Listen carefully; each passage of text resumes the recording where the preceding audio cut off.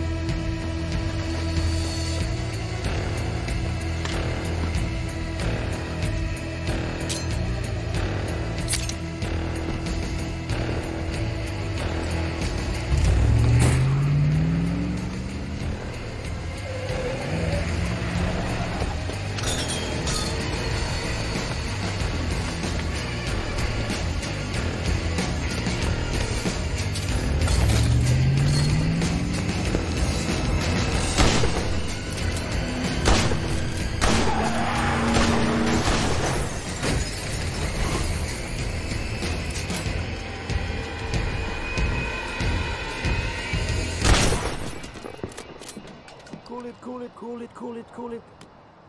John! Where is he? Shit!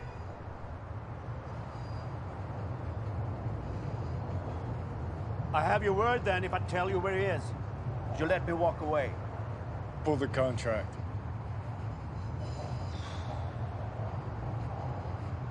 Done.